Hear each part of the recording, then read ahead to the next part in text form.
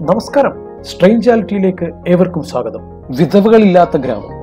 മധ്യപ്രദേശിലെ മണ്ഡല ഗ്രാമത്തിൽ വിധവകളില്ല. എല്ലാ സ്ത്രീകളും വിവാഹിതരാണ്. അതെങ്ങനെ സംഭവിക്കുന്നു എന്നല്ലേ ഭർത്താവ് മരിച്ചാൽ ആ കുടുംബത്തിൽ അടുത്ത അവിവാഹിതനെ കണ്ടെത്തി വിവാഹം കഴിക്കണം. അത് പേരക്കുട്ടിയാണെങ്കിലും വിവാഹം കഴിക്കണം എന്നതാണ് ഗ്രാമത്തിലെ ആചാരം. ഭർത്താവ് മരിച്ച സ്ത്രീക്ക് വിവാഹം കഴിക്കാൻ കുടുംബത്തിൽ മറ്റാരുമില്ലെങ്കിലോ ആരും തയ്യാറാവാത്ത സാഹചര്യം വന്നാലോ വളയിടൽ ചടങ്ങ് നടക്കും. ഗ്രാമത്തിലെ മുതിർന്ന ആരെങ്കിലും വെള്ളി കൊണ്ടുണ്ടാക്കിയ വള സ്ത്രീക്ക് അണിയിക്കുന്നതോടെ അവൾ വിവാഹിതയായി എന്ന് കണക്കാക്കും. പിന്നീട് കഴിയുന്നത് ആ വളയിട്ട ആളുടെ വീട്ടിലായിരിക്കും. ഈ ഗ്രാമത്തിൽ ഒരു ആറു വയസ്സുകാരന് തന്റെ മുത്തശ്ശി വിവാഹം കഴിക്കേണ്ടി വന്നിട്ടുണ്ട്. മുത്തശ്ശൻ മരിക്കുമ്പോൾ ഗ്രാമത്തിലെ ആചാരം നിലനിർത്താൻ അറുപത് വയസ്സുള്ള മുത്തശ്ശി വിവാഹം കഴിക്കേണ്ടി വന്നു. പിന്നീട് എല്ലാ ചടങ്ങിലും ഭാര്യയും ഭർത്താവുമായാണ് ഇവർ പങ്കെടുക്കുന്നത്. ഭർത്താവ് മരിച്ചതിനു ശേഷം ഭർത്തൃ സഹോദരനെയും കൊച്ചുമകനെയും എന്നിങ്ങനെ പലരെയും വിവാഹം കഴിച്ച് ജീവിക്കുന്നവർ ധാരാളമാണ്. പ്രായത്തിനധികം വ്യത്യാസമില്ലാത്തവർ ഒന്നിച്ച് സന്തോഷത്തോടെ കഴിയുന്ന കുടുംബങ്ങളുമുണ്ട്. പ്രായത്തിൽ ഒരുപാട് വ്യത്യാസമുള്ളവരെ വിവാഹം കഴിക്കുന്ന ആൺകുട്ടികൾക്ക് മുതിർന്ന് കഴിയുമ്പോൾ ഒരിക്കൽ കൂടി വിവാഹം കഴിക്കുന്നതിന് ഗ്രാമത്തിലെ ആചാരം അനുവദിക്കുന്നുണ്ട്.